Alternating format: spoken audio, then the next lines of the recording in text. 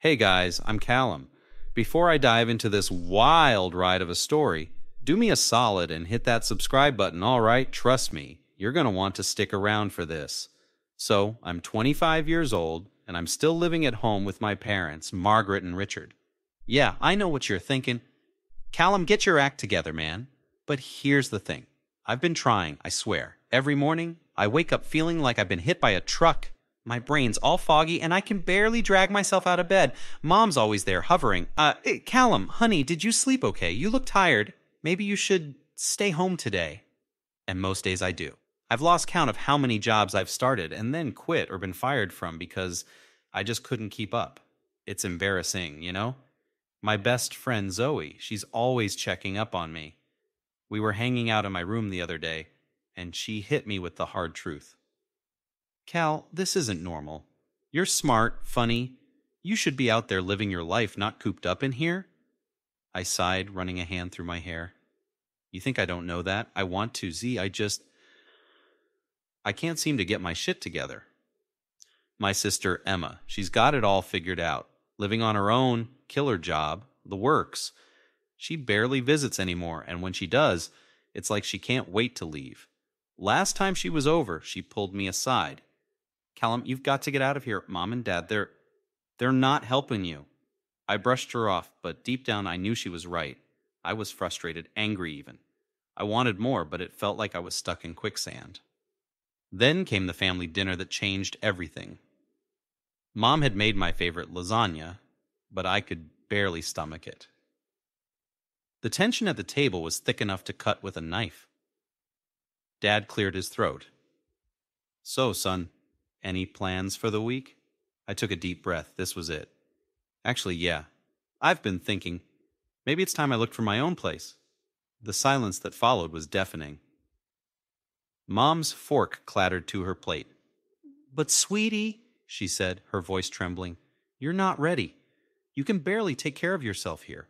How would you manage on your own? I felt a spark of anger.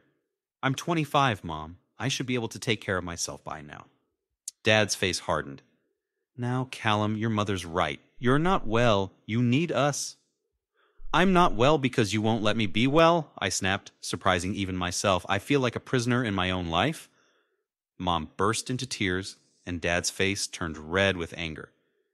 Go to your room, he growled. We'll discuss this when you're thinking clearly. As I stormed upstairs, I couldn't shake the feeling that something was very, very wrong. Little did I know I was about to uncover a truth that would turn my whole world upside down. I woke up feeling like crap, as usual. My head was pounding, and my body felt like it weighed a ton. I dragged myself downstairs, where Mom was already fussing over breakfast. Good morning, sweetie. I made your favorite pancakes. I mumbled a thanks and sat down, staring at the stack of fluffy pancakes. Suddenly, a thought hit me. Why did I always feel worse after eating at home? Actually, Mom, I'm not that hungry. I think I'll just have some coffee. She frowned. But Callum, you need your strength. Are you feeling okay? I shrugged her off and left for work. By lunchtime, I realized something weird. I felt better, more alert, less foggy. This couldn't be a coincidence. Over the next week, I started secretly skipping more meals at home. The difference was night and day. I called Zoe, needing to talk to someone. Zoe, I think something's up with the food at my house. I've been feeling better when I don't eat at home. That's weird, Cal. Have you looked into food allergies or something? We spent hours researching online. The more we read, the more a terrifying possibility emerged long term poisoning.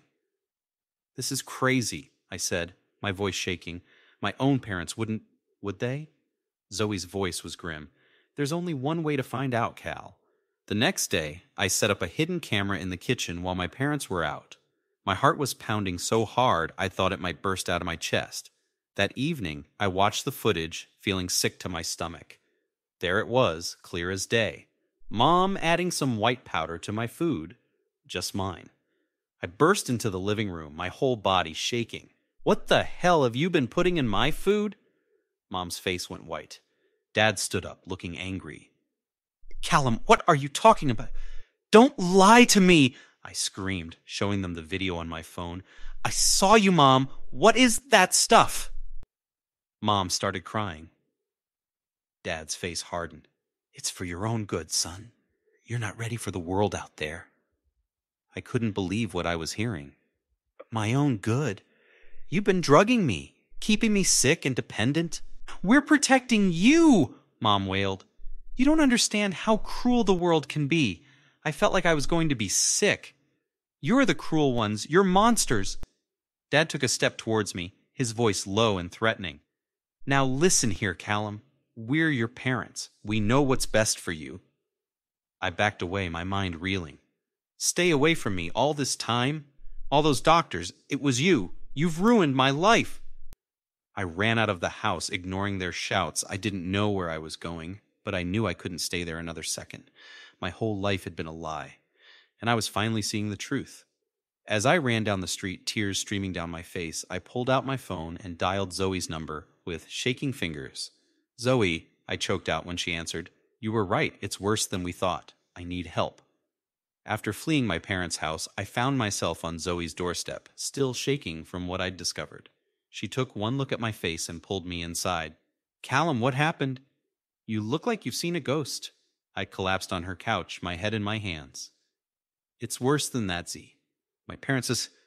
They've been drugging me for years. Zoe's jaw dropped. What? Are you sure?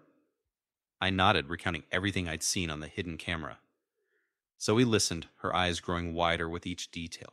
We need to call Emma, she said finally. She needs to know about this. I hesitated.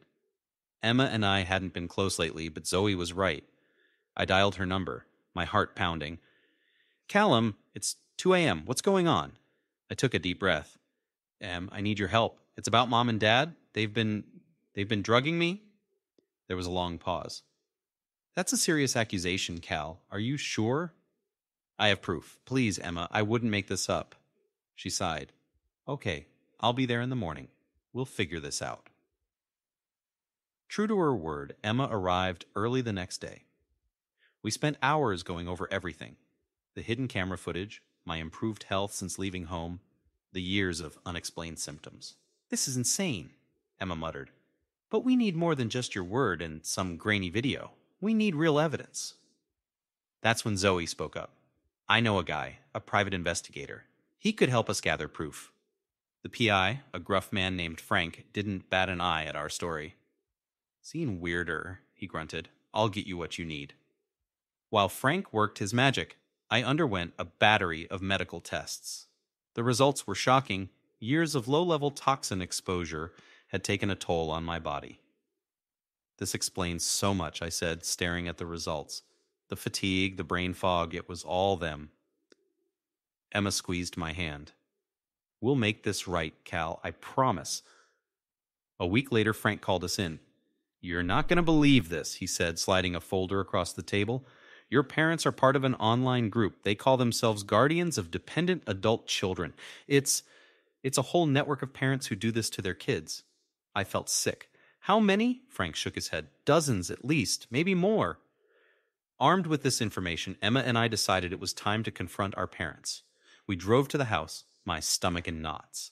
Mom opened the door, her face lighting up. Callum, you're home. We've been so worried. Save it, Mom. I cut her off, pushing past her into the living room. Dad looked up from his newspaper, his face darkening. What's the meaning of this? Emma stepped forward. We know what you've been doing to Callum. We have proof.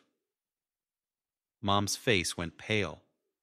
We don't know what you're talking about.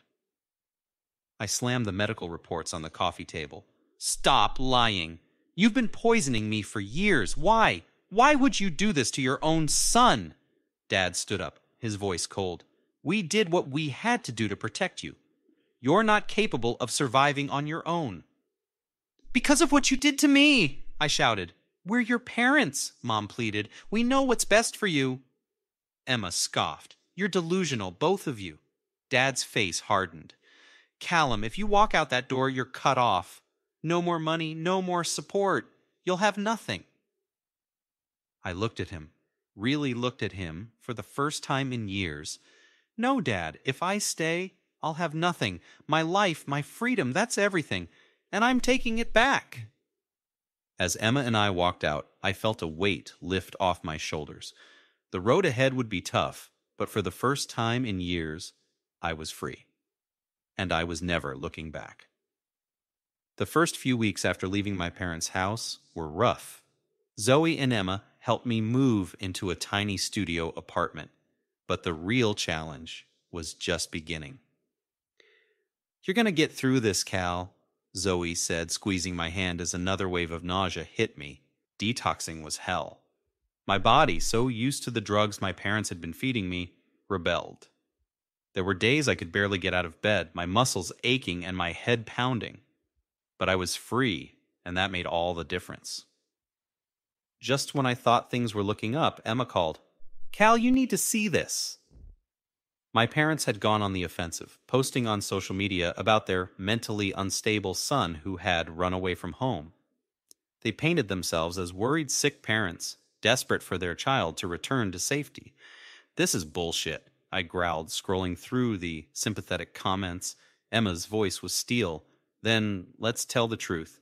We gathered every piece of evidence we had medical reports, the PI's findings, everything. Then we went public.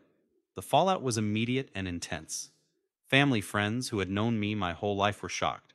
Some didn't believe it at first, but the evidence was overwhelming.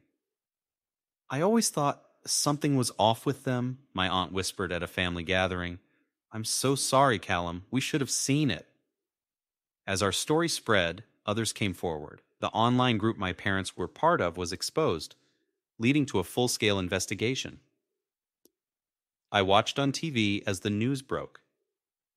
A nationwide ring of parents deliberately keeping their adult children dependent through long term poisoning has been uncovered. My parents' faces flashed on the screen, along with others. I felt a mix of vindication and sadness.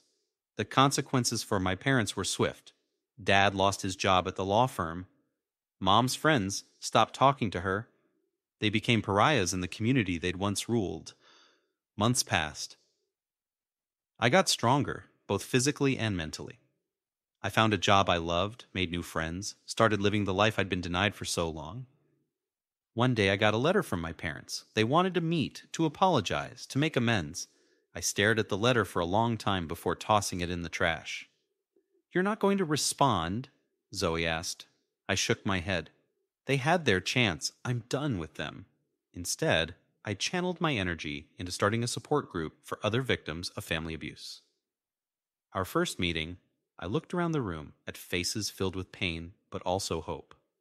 I know it feels impossible right now, I said, but trust me, there's life after this. There's freedom, and we're going to find it together. As I drove home that night, I felt at peace for the first time in years.